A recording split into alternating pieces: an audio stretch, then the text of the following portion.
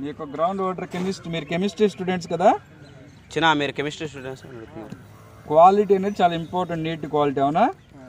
నీళ్ళు మంచివా కాదన్నది కూడా చెప్పొచ్చు దీంతో ఈ సర్వేతో నీళ్ళు మంచివా కాదన్నది కూడా చెప్పొచ్చు. నీళ్ళు మంచిదైతే ఒక రకంగా వస్తుంది గ్రాఫ్ ఉప్పు నీళ్ళు అయితే ఇంకో రకంగా వస్తుంది.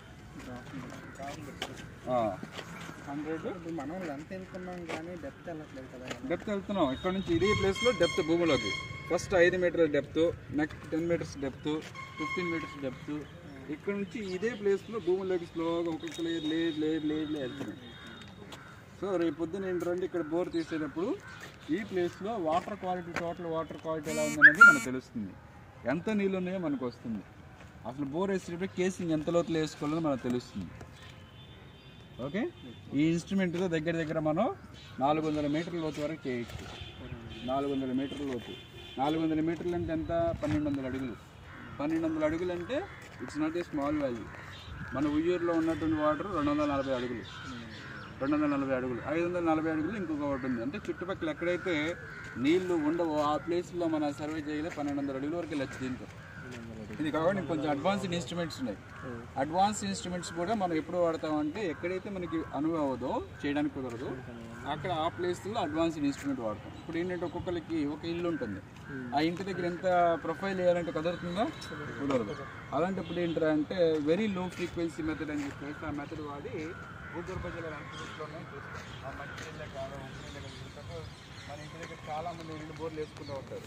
ఆ ఉప్పు నీళ్ళలో ఏంటో తెలియదు. బోర్ వేసేస్తారు ఆ తర్వాత ఫెయిల్ అయితే కనుక లక్ష రెండు లక్షలు వేస్ట్ అయిపోతుంది. అలా కాకుండా ఈ సర్వే చేసుకుంటే యాక్యురేట్గా ఎంత లోతులో వాటర్ ఉన్నాయి? ఉండవు మంచివా కాదా? ఉప్పు నీళ్ళ ఉప్పు నీళ్ళు అయితే ఏంటి? ఏ ప్లేస్లో ఇంకా అనువుగా ఎక్కడెక్కడ ఉంది? కేసింగ్ ఎంత లోతులు వేసుకోవాలి? ఎంత ఖరీదు అవుతుంది బోర్కి ముందుగానే ఎంత ఖరీదు అవుతుందని ఒక యాక్యురేట్ ప్లాన్ వచ్చేస్తుంది దీనిలో అది ఇన్స్ట్రుమెంట్ యొక్క అడ్వాంటేజ్. ఓకే? మన ఆంధ్రప్రదేశ్లో ఇండివిజువల్ కన్సల్టెంట్ చేస్తున్న ప్రైవేట్ కంపెనీస్ ఎవరూ చేయటం లేదు. మనమే చేస్తున్నాం. ఓకే? సో ఇది దీనివల్ల ఏంటి చాలా ఇప్పుడు ప్రతి ఒక్కరూ ఏంటంటే సైంటిఫిక్గా ఇన్వెస్టిగేషన్ చేసుకోవడం చాలా ఇంపార్టెంట్ చాలా చాలా ఇంపార్టెంట్ ఎందుకు? ఊరిని భూమిని తవ్వకుండా వెళ్ళిపోతుంటే ఎంత తవ్వకుండా వెళ్తాం మనం? ఎన్ని ఎన్ని కిలోమీటర్లు తవ్వకుండా వెళ్తాం? ప్రతి ఒక్కడు తవ్వుతాడు వాటర్ ఏమో ఫెయిల్ అవుతుంది. అలా కాకుండా ఏంటంటే యాక్యురేట్గా సైంటిఫిక్ స్టడీ చేసుకుంటే మీకు ఈజీ అవుతుంది. భూమి లోపల నీళ్ళు ఎంత లోతులో ఉన్నాయి? మంచి నీళ్ళ ఉప్పు నీళ్ళ? యాక్యురేట్గా వాటి డెప్త్ ఏంటి? ఎన్ని సంవత్సరాలు వాడుకోవచ్చు నీళ్ళు? అది తెలుస్తుంది. అది ఎవరు చెప్పరు. బోర్ వేసేవాడు ఏం చేస్తాడు? డ్రిల్ చేసి వెళ్ళిపోతాడు అంతే. అంతేనా? ఇప్పుడు మనం ఇక్కడ దరిద్రం ఏంటారంటే మన చుట్టుపక్కల ఉన్న వాళ్ళు కూడా ఉంటారు. వాడు కేసింగ్ పది అడుగులు వేస్తే చాలు. వాడు వంద అడుగులు వేస్తాడు. కేసింగ్కి రెండు వందల డెబ్బై రూపాయలు ఒక అడుగుకి. వంద అడుగులు ఎత్తే ఏమవుతుంది? ఇరవై ఏడు వేల ఐదు వందలు. ఊరిని ఇరవై ఏడు వందలు అడిగి ఇచ్చేసినట్టు అవుతుంది.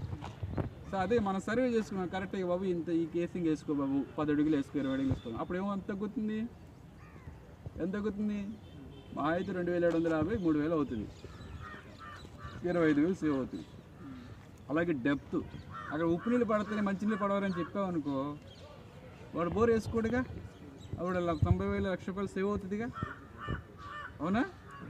ఇది ఇప్పుడు అడ్వాంటేజే కదా ఇది?